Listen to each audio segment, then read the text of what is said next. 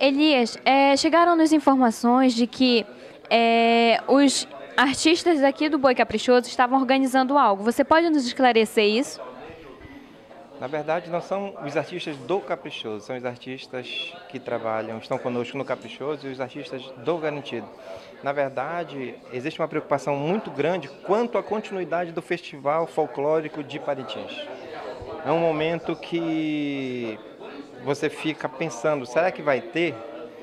Será que vai acabar? Porque não existe por parte do governo do estado uma manifestação positiva nesse momento para que haja o festival. Então, existe essa preocupação muito grande. Quem faz o festival são os artistas nossos. Então, nós estamos convocando, eu fui nomeado por esse grupo de artistas do Boi como diretor para estar junto com eles.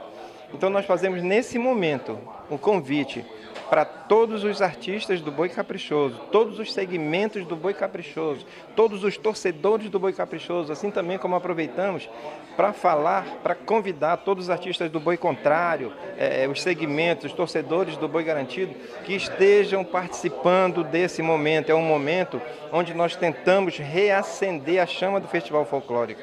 Né? Essa chama que tentam apagar de qualquer jeito.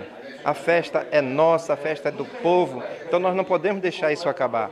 A nossa preocupação é dar continuidade. A nossa preocupação é que haja o festival, folclórico de Parintins, por mais 100 anos e depois por mais 100 anos, para que nossas futuras gerações possam assistir à grandeza da festa que nós assistimos hoje.